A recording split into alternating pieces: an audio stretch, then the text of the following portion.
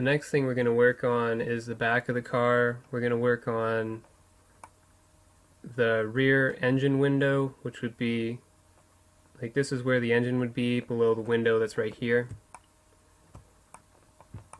So we're going to correct a couple issues first. Like you can see the shading here is not very good. And we also want to move this back window. Right now, the back window, we have it just straight up and down. But from looking at the reference images, like you can see that this angle is very, like it's very angled. The window is very angled. So we're going to have to add in this angle as well as correct some shading before we get started on this area and these parts as well. So we're just going to tab into edit mode and we're going to contain the bad shading again. So we're just going to go to edge select, grab these edges here. Make sure you get the one on the side and then all these, do subdivide, alt right click, Q to slide this in, get it as close as you want it. And it's going to be a little easier if you hide this uh, fin thing. So just go to vertex select, select this vertex, select linked, H to hide, and then go up here, select these two and press J. That'll join them. So you can see already that shading problem's gone. That is nice. So now to angle this, first what we want to do is press 7 to go to top view, Z for wireframe.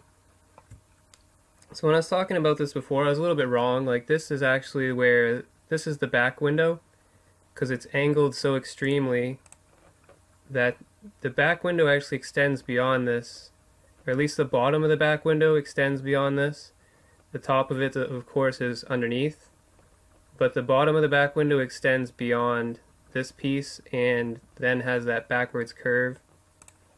So this, I believe, is the back eh, back window, at least the bottom of the back window, which means we're going to have to move these vertices up.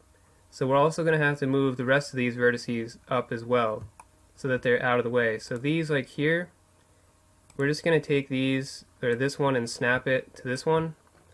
I'm going to take these and press Q to slide them up. And we're going to do the same here. We're just going to continue moving some of these until we get a bit better spacing so that we can move this up.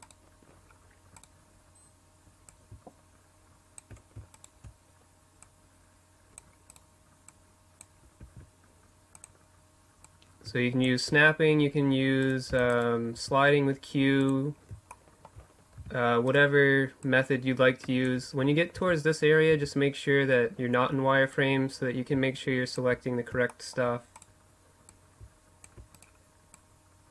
This one's going to have a little bit more of a curve because this one has a bit of a curve. You can do the same here. Just give this a little curve too if you want.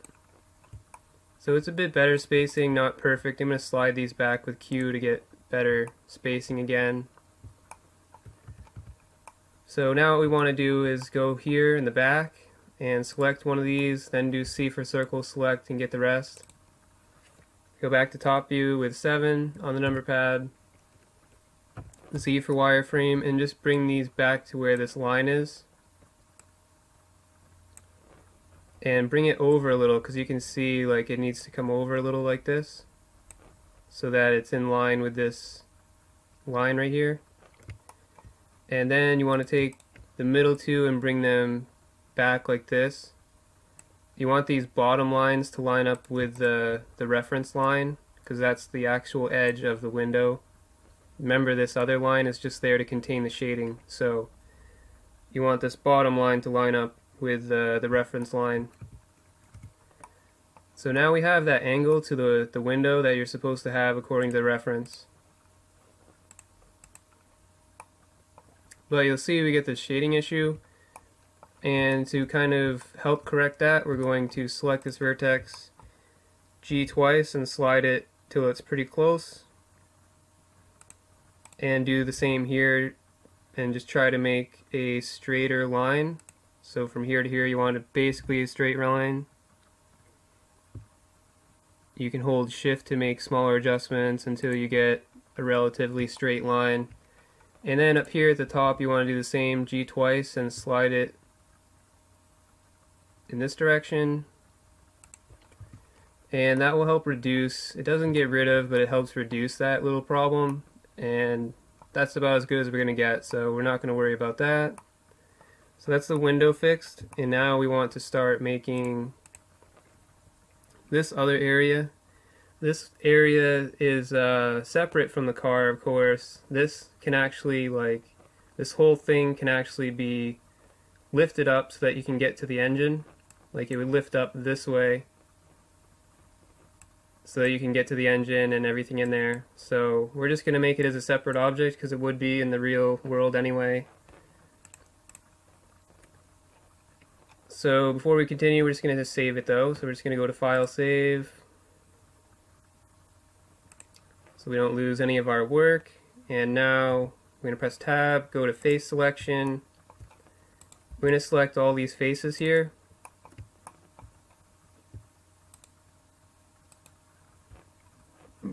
You'll notice I didn't select any of these ones here. Any, any of these little skinny ones I didn't select. Because now what we're going to do is press Control 1 and that's going to increase our selection. So that'll get all the skinny ones without having the problem of possibly selecting other stuff. The only ones we don't want are the ones in the back right here. So we want to deselect these very small ones in the back, including this little triangular type one. So this 3 on the bottom you should have deselected. And now we're going to do Shift D to duplicate and make this a completely uh, separate mesh, or separate part. And then I just right click to cancel the movement. And then what we want to do is just bring this up slightly so that it's actually above the rest of the car. Even though it doesn't really look like it is, it is above the car. So what this will allow us to do is to be able to make this top part where the window is and this uh, honeycomb mesh is, all this other stuff. And then we'll be able to like open this up and then below it we can actually make the hole for the engine and we can put the engine down here which is probably something we're going to do because details like that are just they're really important to try to make it make the car look real whenever you have a window putting something behind it just makes it look so much more real so we're probably going to be doing something in terms of an engine, at least something basic. So now what we want to do is take another look at our references to look at the shape that we are trying to create. So we have like this crease line here, and then you have another crease line here, and they come not really to a triangle, but they get skinnier, like they come closer together down to here where the mesh part ends. And you also have this other, like this part goes up and then it goes back down and then it goes across, of course. So you want to just try to start with the basic shape like that, get these two lines in, get this upward and then downward shape, and then we'll continue from there. So at this point we can press Shift H to hide the rest of the car because we don't need it. And we can press 7 to go to top view, Z for wireframe. I'm not sure these lines are really 100% accurate, but we can use some of them anyway to get started. So we're going to go to uh, vertex select. And what we want to do, of course, is try to line up these vertices with the, the edge of this. And this one we're going to use for this entire line actually. We're going to use for that outer line, like this, this outer crease right here, which I believe is this line and this part because this would be that line, then this other one would be the bottom line, and this would be where the mesh is, and this would be where it starts curling back down, where it starts curling back down like this, and creating that, uh, like this would be more of where the separation is, like this part right here. But anyway, we're just going to go ahead and do it instead of talking about it, so we're just going to bring this over, and we're going to bring this over, and line it up with the same same line that I'm lining it up with. Like I said, I don't really agree with this uh, reference 100% because like this kind of just looks like it's really small, but in comparison to the, the picture I have, but we're just going to use this for now. And we're going to move this over so that it continues in a straight line with the rest of it. and our straight line is actually not the best straight line. So I'm going to try and straight, straighten this out some so that it looks more like this. So that's our first line. Get the second one, we're just going to do Control R, left click, and then right click, I think, and we'll just move these over to better line up with this Actually, this is the part I think where I really didn't follow the reference because I thought it needed to be, like this area needed to be a bit wider than what the reference was. Because at the front, remember, like it gets pretty, the difference is pretty big. And this reference kind of just has it as a consistent distance, which is not correct. So we have to try to compensate for that and bring this a little closer. And I'm to just, just snap this on the, the y-axis so that, because it looked like they weren't, they weren't uh, even on the y-axis, and they should be. So all I was doing really is just making sure that they're closer here and then they continue to get further apart and I think I should just continue making this a little bit wider here. Something like that I guess is good. And from a different image I figured out that like how this continues you can see kind of here that it continues like this but it doesn't stop like this edge doesn't stop at the bottom of this window it doesn't stop at the bottom of this window area it continues on beyond that and it doesn't actually continue past this. It actually stops. I don't know if we really have any good images of it. We yeah, I guess we don't, but I did look at a different one that was really high quality and maybe I'll put it in the description so you guys can take a look at it as well. But this actually comes to a triangle and it stops before this back fin so we have our vertice basically where we want it right here, but we want this to come to a triangle, so we're going to select this, shift select this, alt M at last, and then do the same here. You can actually select this one, shift select this one, and then do shift R to repeat. And in this case, repeating was just alt M at last. So it's a little shortcut that can help you out. Just make sure this kind of comes to a nice smooth triangle point. and I'm just going to look at my reference real quick to see how I did. I think it looks like I continued these curves, like you want to continue these lines, so this needs to be moved over, so select all three and Q to slide them over and do the same with this. You just want to make sure that these lines continue like this line continues straight here this continues straight here. So this is basically this is basically what we want. We're also going to need to continue this shape so we're going to need some more geometry. And another thing we want to do is create this roundness. So we're going to need more we're going to need a, a vertice for this shape and some to create the roundness as well. So we're just going to do Control R and left click, right click. And we're going to bring this over to here and we're going to snap it to that point, snap it on the y-axis, bring it to this corner, and we're going to do the same here. We're just going to kind of bring these over a little and that one looks like it's already at the corner.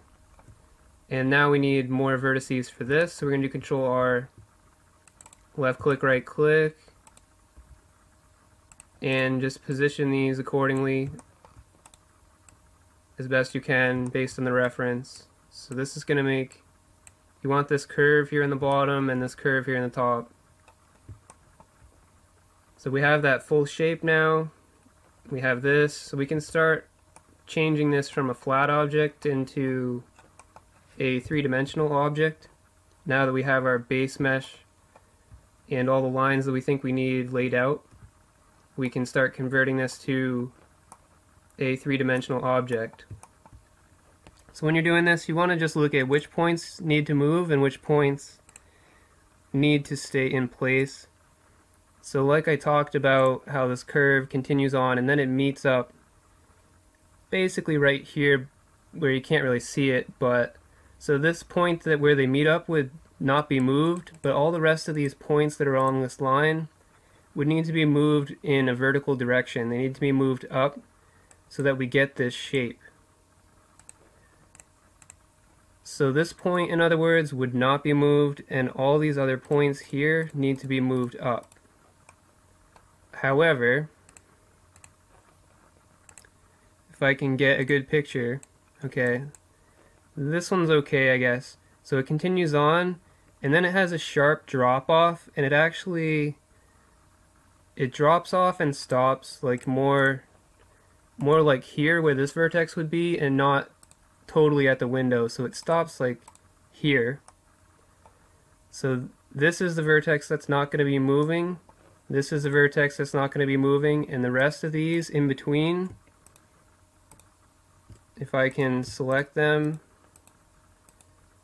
all need to be moved in a vertical direction. So to do this, I'm just going to press 3 to go to side view and just bring these up, and Z for wireframe. And then I'm going to press R to rotate and get a basically straight line between these two. And I just want to get the height at the correct point. So this is pretty good, I think. Something like that is not bad, probably. You could go a little higher if you wanted. And then just rotate again in side view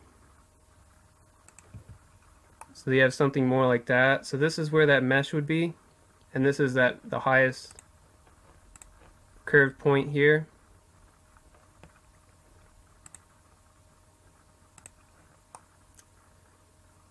And instead of actually being a straight line, uh, let me see which picture, this one, you can tell that it's a curved line. So this, we have to make some curvature to this line instead of leaving it as a straight line. So to do that, we're just going to go one vertex at a time, bring it, bring it up a little, and add some curvature to this section so that it's not just a straight line, it's a curved line instead.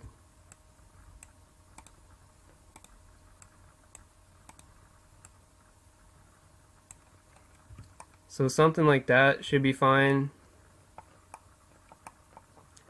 And then in between this area, we also wanted to add curvature to this. So this needs to be brought up. And you just want to do something similar. Just add curvature to this.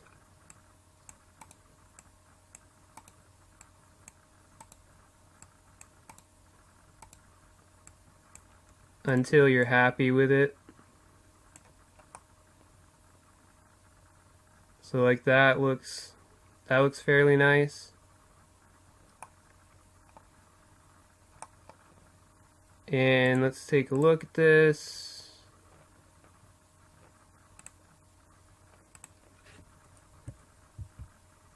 Okay, so this part needs to be brought up as well.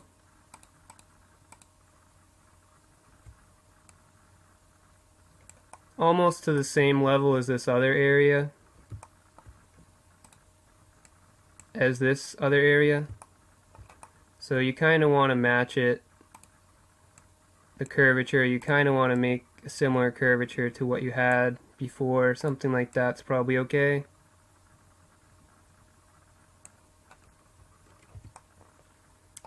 You can't really see the shape yet, but we will once we start adding adding in um, supporting edges, which we may just do right now. Possibly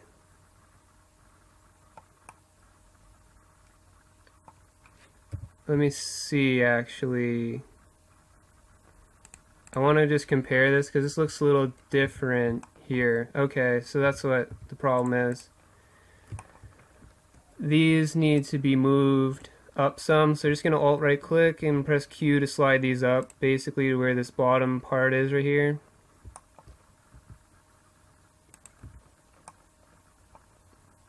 Something like that.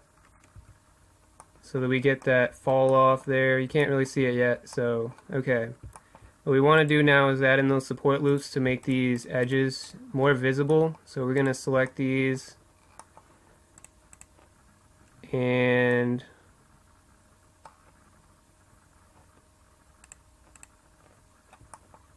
all the way to the top. So you want to select all these, subdivide, alt and right click, Q to slide it over. This is going to make that edge more defined, more visible. And then in vertex select, you want to join these two with J. And now you're going to start to see that we have that crease right there. And we're going to do the same on this other side. And actually first I just want to move this vertex slightly. So we're going to select all these, subdivide, alt and right click, Q to slide.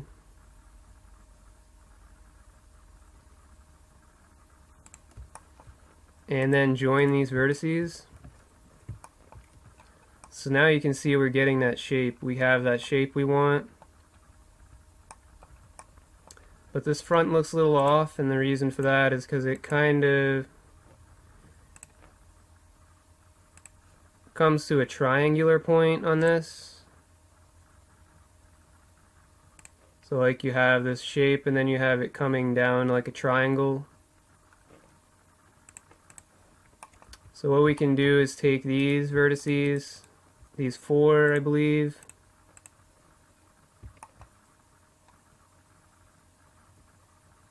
Oh, okay, so that's what I did. Actually, what I did is I took these and I uh, took this one, shift select this one, alt M at last. Do the same here, merge those. So we basically merge these two over to these two, and then take these two and press Q, slide it over. So I actually made it into a triangle to get that effect right there. So in order to get that separation like I have on this one, where you get this nice this nice look here, kind of similar to what you have right here. So in order to do that, we're just going to make sure we're in edit mode by pressing tab, 7 for top view, Z for wireframe, switch to face select. Select these faces with whatever selection method you prefer. I'm using circle select, which is C just make sure you get this whole area that is uh, colored in black. Get all the faces in this area. And then we can press I to inset, B for border. Do a small inset, but not too small. Maybe something like that is good. And then we're going to do Control R and add in a loop cut between these two areas. But we're actually going to add in three loop cuts, so we're going to mouse wheel up twice until you have three loop cuts. Should say three, number of cuts down here, three. Then just left click, right click. And then alt right click on this middle edge, so you should have two below it, two above it. Z for wireframe, get a better view of this, and do alt S. Bring it down a little. And now you can see we're getting that separation effect that we have. And it actually may have helped the shading up here a little too. Maybe that was a problem from before. You can also still adjust, like if you think your uh, if you think your lines are not really as nice as you want them, like they're not perfectly straight or whatever, you can still go back in wireframe and still adjust these slightly to you know suit your suit your needs, whatever you think you need. You just want to make sure you do uh, wireframe when you're doing this because there's there's a few hidden hidden vertices down there so you can still go back and change the curve of your shape if you want to. Like for example I want to move these over a little just to see if it'll help the shading at all for the top. But this looks pretty good. This looks pretty accurate as far as what I'm looking for. So we're just going to go ahead and save this by going to File and Save